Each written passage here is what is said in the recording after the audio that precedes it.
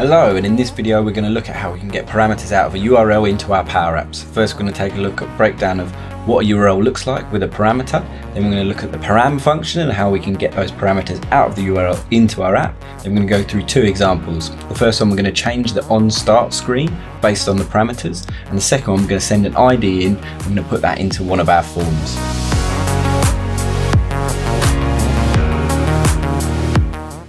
So here's a URL that I've pulled straight from my browser. Let's break it down and see where those parameters are. So here we have the full URL as we can see it on the screen there. Now the first part of the URL is the address. So we've got apps.powerapps.com forward slash play. That's the URL address of the website itself. Now the first thing that we look for when we're looking for parameters is a question mark. This is essentially the start of the parameters. So the URL has been in play and now we're looking at the start of the parameters.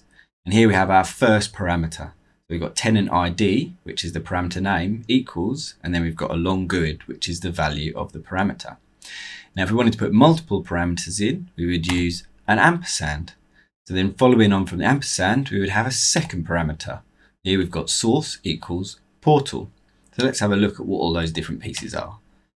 We've got our URL to start, then we've got a question mark in green, which is the start of our parameters. We've got a parameter name equals a parameter value, an ampersand, our parameter 2 name, and our parameter 2 value.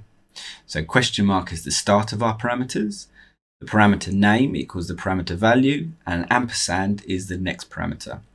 We can add as many parameters as we want into the URL. Let's go and see how we can get those into our app. So here we have the Microsoft documentation for the launch and param functions. I'll post the uh, URL to this in the description of the video. And here we have a very simplistic use of this parameter function. So here we've got a simple label that just says this is my parameter and I've got an empty label here. Now we're simply going to use the param function and now we have to tell it what is the name of our parameter. And this can be whatever we want. Same as with variables, we can give it a name. So we're going to call this um, parameter text. So it's not going to populate at the moment and we can't do this in the app itself. We have to run the app to see it working. So just to see and understand how that works, what we're also going to do is in here, we are going to set a uh, variable called parameter.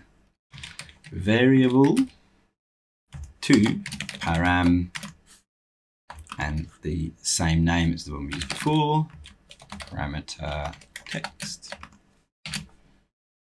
Okay, let's just double check that that is the same name as the one we've fit in here. So we've got the param function and we're just telling it what is the name of the parameter in the URL to look for and this one is going to set that parameter to a variable.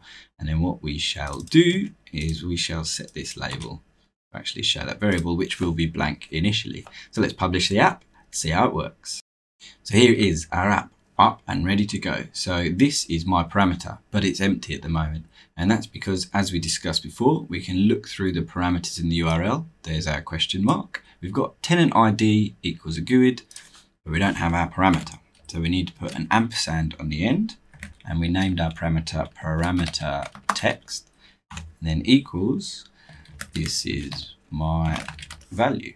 So let's hit return, reload, and here we go. We can see my value has entered into the box where I used the param function. Now let's click this button and we've also just set it to our variable which has now appeared in the box.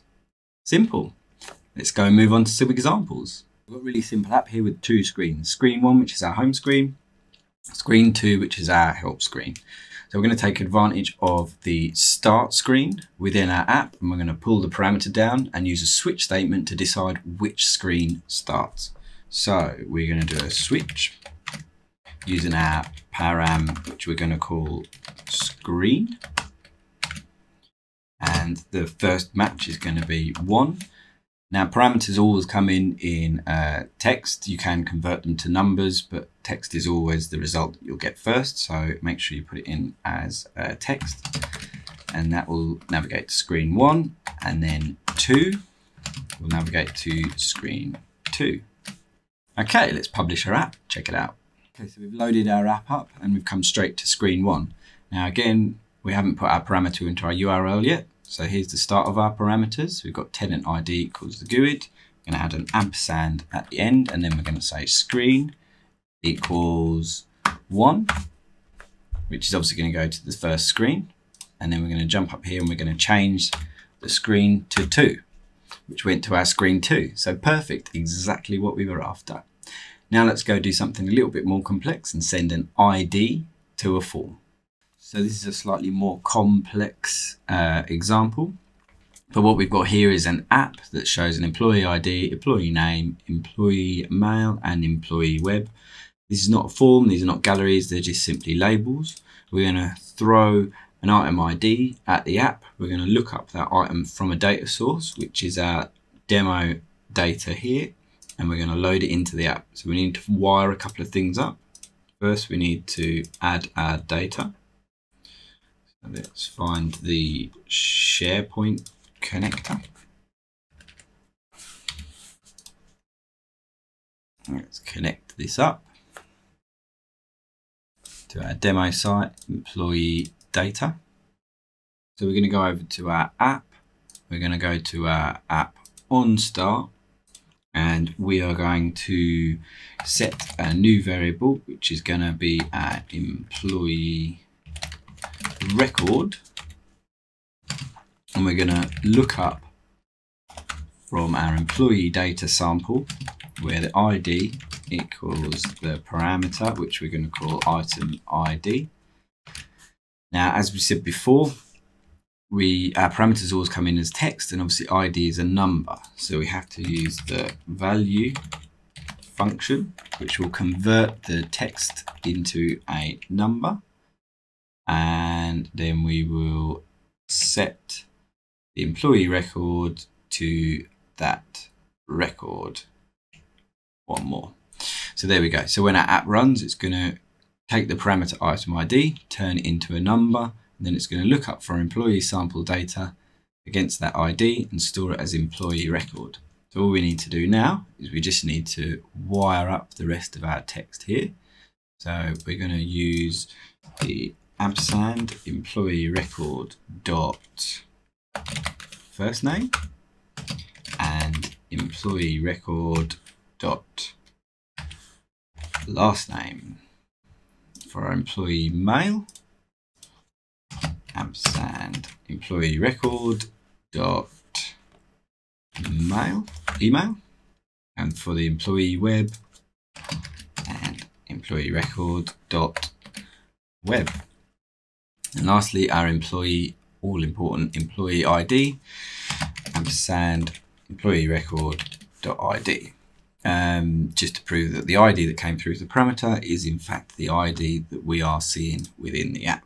Now, we could obviously type in the URL, use the item ID plus one, but we're going to be smarter. So in here, what I've done is used some custom formatting in this column to essentially just turn it into a URL that gives us our um, app URL plus item ID as our parameter on the end and then adds the ID on the end. I won't go into that in this video, but I will in another video. I'll also link to the documentation on how to do that in the comments. So now what we should be able to do is take a look at this ID. So we've got ID number one. Let's publish our app, click the link and see what happens. So let's have a look who we got here. Alicia Tomkovic. Let's open that app with item ID 1. We do indeed have employee ID 1, Alicia Tomkovic, and all of her details. And we can see here we've got our parameter item ID equals 1. Now I can manually change this and we'll get a different uh, employee or I can go back to my list here and click on a different one and I'll get a completely different uh, employee ID. Thanks for watching another video. Please remember to subscribe to keep up to date with all my latest videos.